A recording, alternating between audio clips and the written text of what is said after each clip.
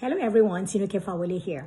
Today I want to talk about five things that parents should discuss with their sons about sex. Number one, the way boys view sex is different from the way girls view it. So when you have sex with a girl, she's expecting some kind of loyalty from you, some kind of commitment, some kind of emotional connection. So you are creating some longing and attachment that you're not going to be able to live up to as a boy because you don't have those feelings when you have sex. You're not expecting someone to love you or be emotional and all of that. But girls expect that. The second thing is someone is something that someone said. She said, whenever a man, an unmarried man has sex with a girl, he's actually stealing because you don't know who's going to be the husband of that woman. So if you've had sex with a woman and she ends up marrying someone else, then you've stolen from the husband. I think is a good analogy. Number three, boys need to respect when women say no.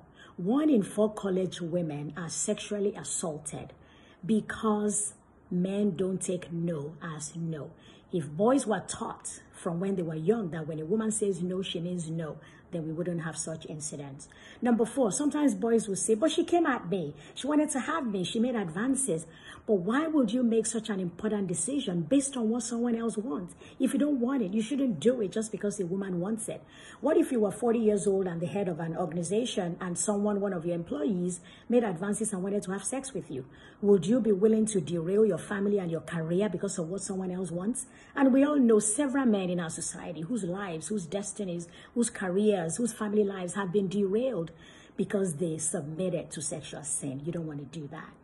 And number five, contrary to societal myth, your sexuality, I mean, your strength as a man does not depend on your sexuality. It actually depends on self-control. We all know the story of Joseph.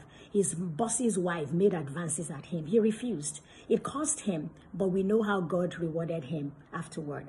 So don't let anyone either force or coerce you or suggest to you to go into sexual sin. Sexual sin derails destinies.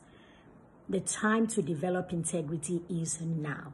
The time to be able to say no is now. See you next time. God bless.